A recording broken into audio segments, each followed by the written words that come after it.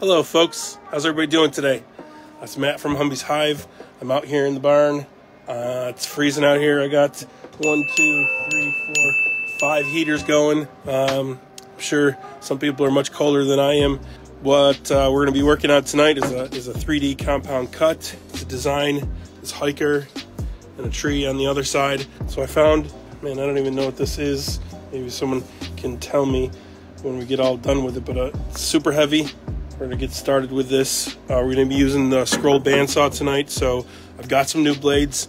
We haven't cut on this live, um, but I have cut on it since, and it's been working well.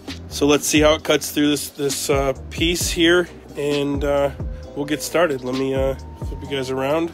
All right, let's see how we see how we do it.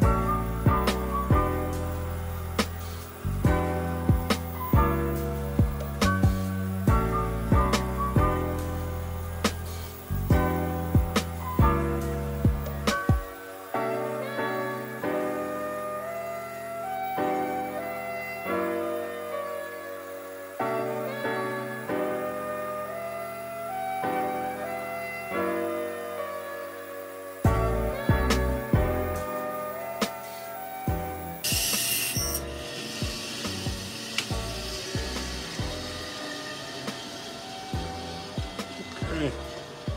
All right. So, this up a little bit. This is what we got so far. So now that we have that cut, again, I'm probably gonna move that down. But yeah, then we're gonna uh, stick it back in, we'll flip it around, and then we'll cut the tree on this side. So if you've never tried one of these compound cuts, they're really super fun to do. Um, what you do is I'm gonna tape this all back together, and then we're gonna rotate it 90 degrees, and we'll cut out the tree. Now that we have that, go ahead and get started on this one.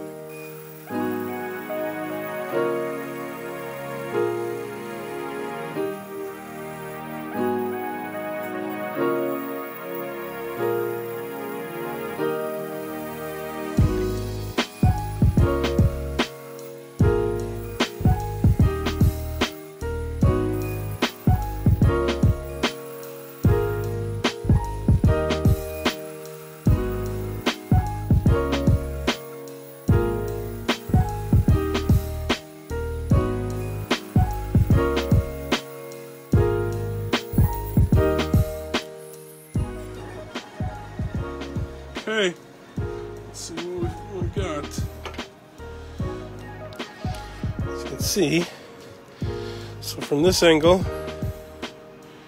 you see the pine tree. And then when you turn it, you see the hiker. Pine tree.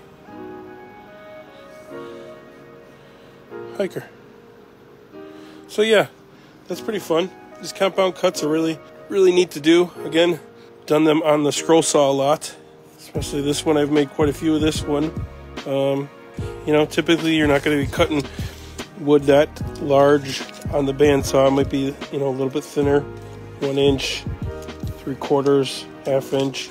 But yeah, it shows that just shows the capability, and I think someone mentioned in there I like demonstrated ability of the bandsaw. I'm currently thinking of buying a bandsaw. If you're interested, um, this Pegas bandsaw, again for scroll work, it's not made for resawing or anything like that, but it's got it's multifunction, but um, the ease is, is so nice. And if anybody, you know, is interested, you feel free to use. Uh, I, have, I, have, a code with Bear Woods. It gets this bandsaw is included, the scroll saw. You can get uh, five uh, percent off that. Um, blades, anything on their site pretty much. Um, feel free to use it. The code is uh, my last name, Humby, H U M B Y. Again, uh, I thank you guys for watching. Hopefully that was kind of neat. We had better luck uh, this week than we did in, in, in the previous week, but uh, again, I'm trying to get a little bit better. I'm definitely not uh, pro at this at all, but uh, the more I use it, the, the better I get. The more um, you know, the tips I can give. Um, you know, I like I like to show demonstrations, and hopefully you guys like watching. Um, but I appreciate you guys watching, and you guys have a great night. We'll see you later.